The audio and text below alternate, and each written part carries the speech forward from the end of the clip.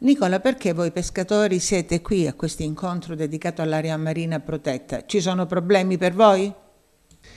Oggi noi siamo qua riuniti per affrontare i problemi della pesca nell'area della riserva marina perché praticamente siamo arrivati adesso al collasso, cioè non si pesca più a sufficienza per poter mantenere un'impresa, una imbarcazione, dei pescatori, insomma le spese, perché lo sfruttamento è diventato eccessivo, non solo da parte dei pescatori, ma anche da parte dei pescatori sportivi soprattutto, soprattutto per alcune specie per esempio il pesce di grossa taglia, che può essere una ricciola, un dentice, una cernia.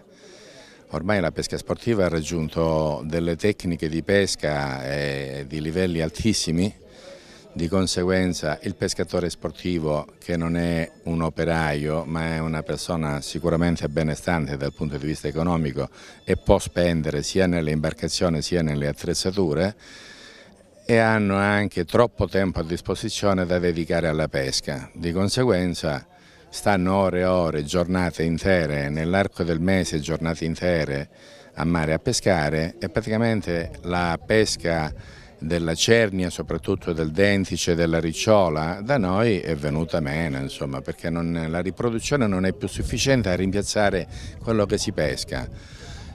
Chiaramente idem succede con la pesca eh, professionale, soprattutto i pescatori che fanno, praticano, come anche io, la pesca con le reti da posta. Le pesche con le reti da posta, ahimè, nella riserva marina sono troppe, troppe e tutto l'anno. Di conseguenza la riserva marina quella è. Le reti rispetto a vent'anni fa si sono decuplicate eh, anche le maglie tante volte non è, non è che c'è un rispetto eh, diciamo, del, delle maglie, ma ammesso anche che ci sia rispetto delle maglie, è proprio la quantità delle reti che sono a mare.